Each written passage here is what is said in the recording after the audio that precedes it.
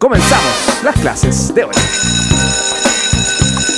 Tengo una pregunta, tengo una pregunta, Leo, Chupete, que está ahí adentro. ¿Ustedes duermen bien? ¿Se sienten descansados al despertar? ¿Son esas ocho horas de sueño realmente infalibles? Yo tengo todas esas preguntas y más, la verdad. Yo creo que vamos a encontrar respuestas hoy día.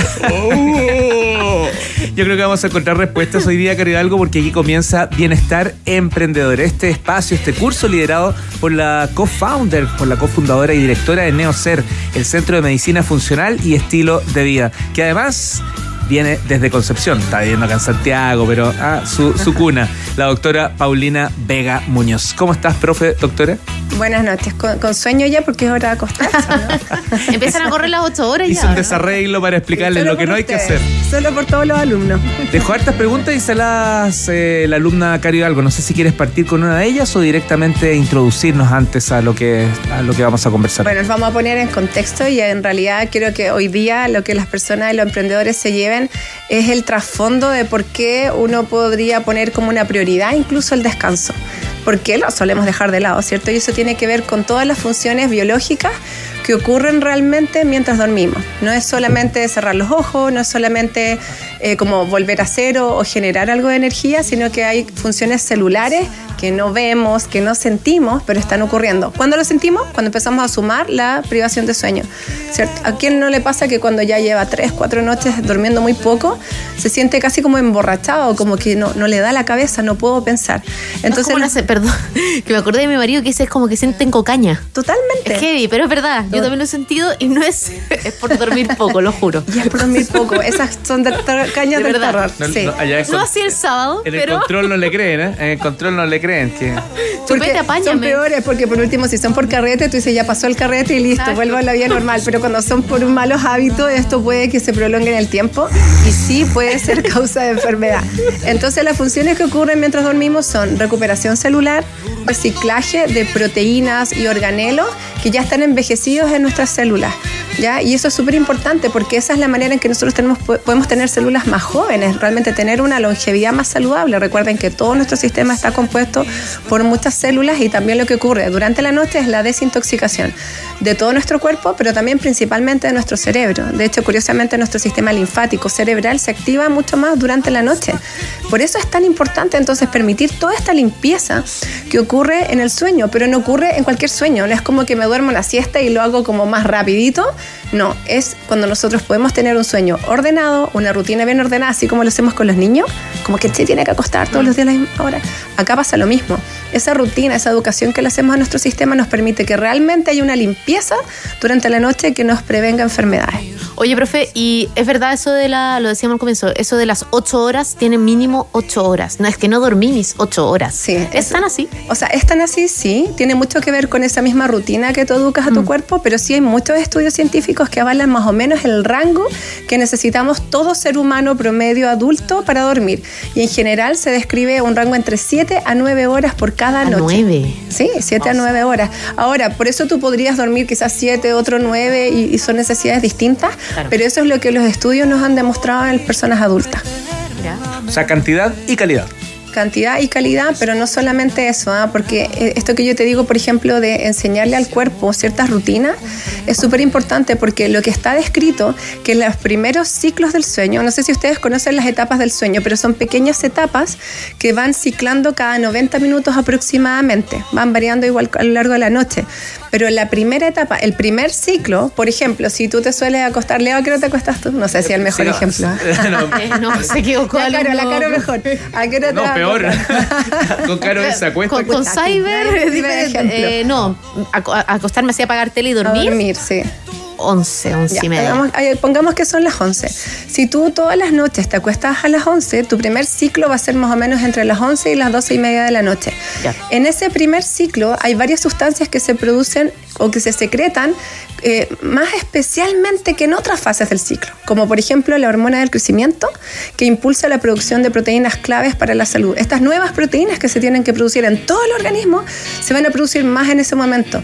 La hormona de crecimiento es anti-aging, la hormona de crecimiento protege tu musculatura. Pero ¿qué pasa si yo empiezo entonces a desordenarme? En vez de a las 11 te acuestas caro a las 12, otro día te acuestas a la 1, otro, dos días te acuestas a las 11 de nuevo, tú vas a quitar ese primer ciclo.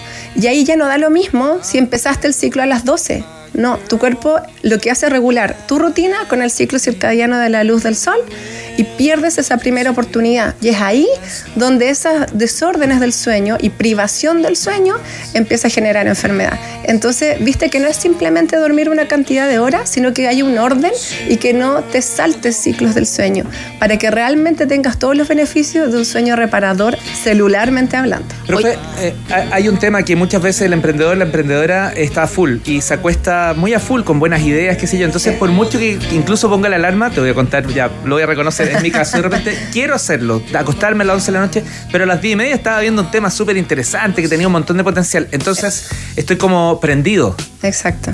Y eso tiene que ver con lo que es la higiene del sueño, que es la otro, el otro tema que queremos profundizar.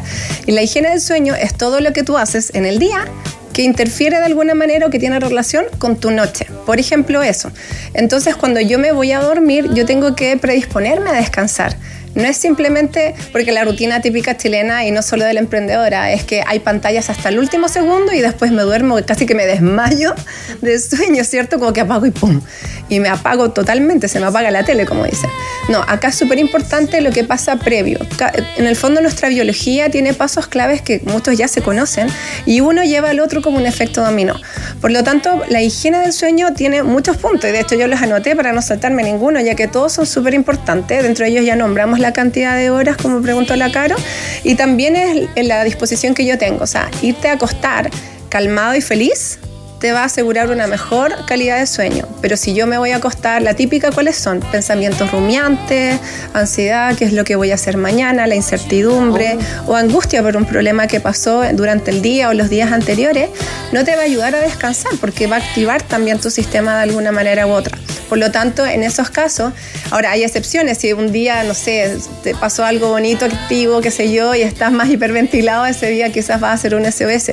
Pero si hablamos de rutina, sería súper importante que tú protejas tu sueño dejándote algunas actividades de relajación, como respiración consciente, que igual lo hemos hablado en otro episodio, ¿cierto? O incluso escribir, especialmente cuando te pasan esos. Muchos pensamientos, es súper bueno el journaling, escribir, llevarlo y ojalá a mano, porque hay una conexión también cinética con la escritura, entonces tú como que descargas esos pensamientos y después puedes hacer unas respiraciones, una meditación y pum, calma el sistema. Hemos hablado cómo existen respiraciones que lo hacen súper, súper rápido, ¿ya? Otros puntos importantes, reforzar lo que hablamos de la rutina y también reforzar lo del ciclo circadiano. El ciclo circadiano recuerden que tiene relación con la luz del sol. El sol entonces nos permite que el cerebro reciba información a través de los ojos y ahí nos permite entender dónde estamos parados, qué tenemos que hacer, qué se va a secretar en la noche, qué hormona se va a secretar, que la serotonina se secreta en la noche, que la melatonina se secreta en la primera fase de la noche, después la hormona del crecimiento y así sucesivamente. Eh, para esto también es muy importante recordar lo que es lo de la luz artificial, que yo creo que es una de las cosas más difíciles de cambiar en todo emprendedor porque la mayoría tiene o el celular o la pantalla del computador o el tablet a último momento. Y acá cada uno va a hacer lo que en el fondo pueda, ¿cierto? Pero sí sería ideal ir protegiendo una ventana libre de luz artificial, que la hagamos crecer de poquitito entonces, que no sea lo último la pantalla, sino que apagamos y después nos ponemos a leer un buen libro en papel, algo que sea positivo, que nos relaje. Nos ponemos a escribir en papel también, por ejemplo, con una luz que solamente ilumine la página. Entonces, vamos a permitirle a nuestros ojos percibir menos luz artificial y mucho más oscuridad. Imagínense si viviéramos en la naturaleza, se va el sol, prendemos un poquito de fuego y sería súper suavecito. Nos, manda, cuando vamos a acampar, no sé si les ha pasado, como que dan ganas de ir a descansar. Le vamos a pedir un minutito a, Rodrigo Yoa, que ya nomás va a estar con nosotros en ADN Te Acompaña de Noche, para cerrar la idea. Sí. Me están echando la sala, profe. Y bueno, y terminando también la temperatura es algo súper importante. Mucha gente pone unas calefacciones terribles, súper altas en el invierno y la verdad es que necesitamos enfriar nuestro cuerpo para dormir mejor. Uy, datazo. Eso es súper bueno. más o menos entre 17 y 20 grados Celsius máximo, no más de eso, especialmente para que la cabeza esté fresca. Evitar, por supuesto, los estimulantes y el alcohol que mucha gente lo ocupa para relajarse al ah, final de la noche, pero igual irrumpe con el ciclo circadiano. Y además no comer tarde, comer máximo tres horas antes de acostarse porque si no vamos a distraer el sistema hacia el sistema digestivo y no. Recuerden que aquí es limpiar, desintoxicar, reponer, reparar y así tener mucha energía en el día a día que es donde lo necesitamos y así mejor memoria, mejor capacidad de resolución de problemas, mayor rendimiento y mejor productividad. Tienes maravillosas redes sociales y de estos temas justamente los estás tocando recurrentemente. ¿Cuál es el, eh, el, Instagram? El Instagram, todas las redes, Derea Paulina Vega y eh, también Neocert Chile. En alguno de esos toca el tema de la siesta, no lo vamos a alcanzar a tocar ahora, pero. Lo podemos tocar, así que ahí ah, atentos y ahí lo vamos a entonces Coming soon.